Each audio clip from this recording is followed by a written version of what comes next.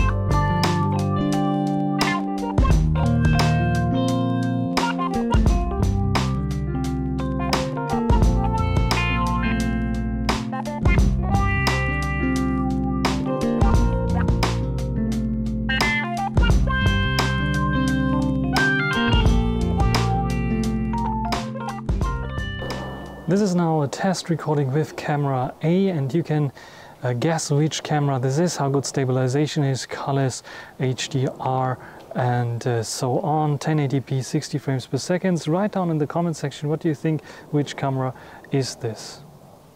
Now this is camera B, how good is stabilization, how good uh, are the colors, how good is HDR, what do you think about this quality.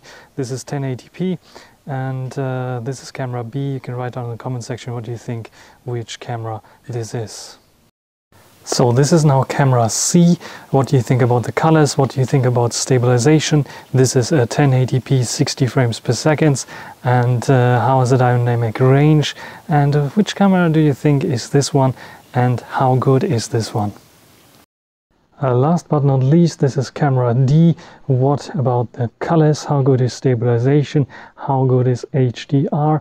1080p 60 frames per second.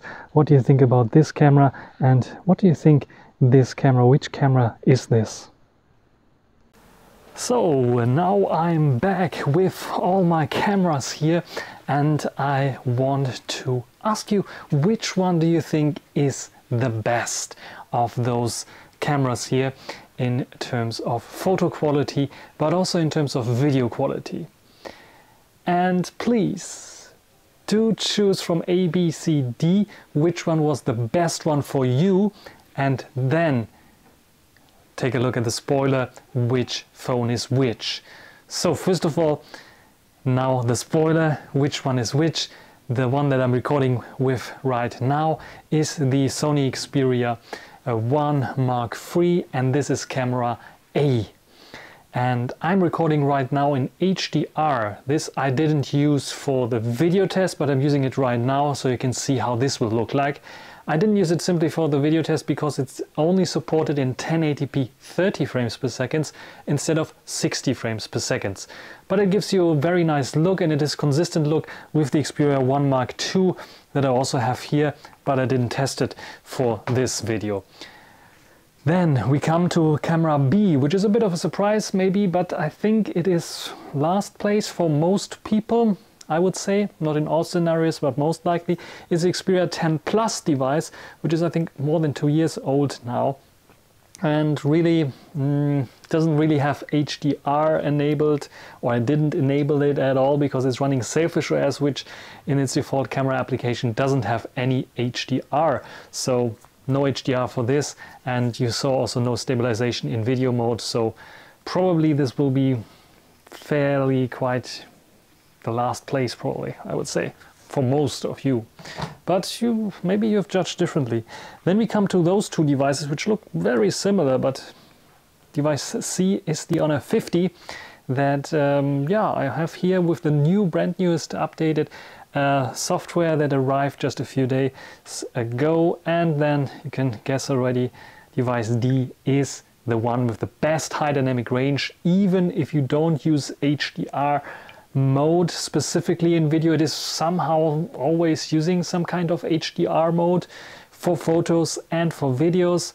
You noticed maybe that on the Honor 50 sometimes the color changed because by default it is having the AI master AI deactivated and for some shots I just activated it so it might be not so obvious which phone is which and then for the Honor uh, for the uh, P50 Pro Honor 50 P50 Pro I also deactivated the uh, master AI that was always on by default and this time I deactivated just to see how much more natural colors I can get and if the HDR gets less of an effect.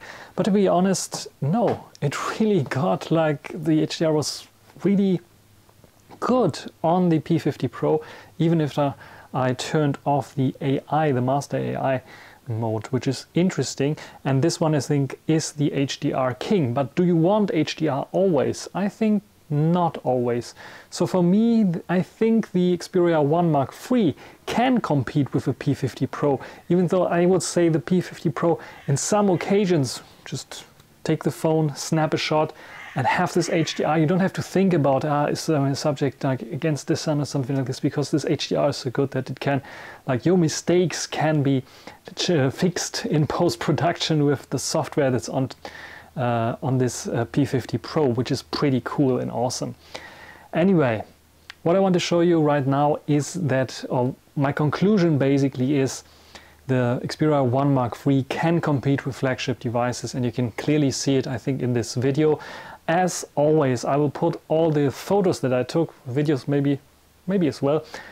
Underneath here there are links for the specific files. You can watch those and uh, look at them on your screen to get um, yeah nice little um, preview on your devices as well in original quality so nothing lost due to the YouTube algorithms or video editor I'm using that might compress stuff a little bit too much.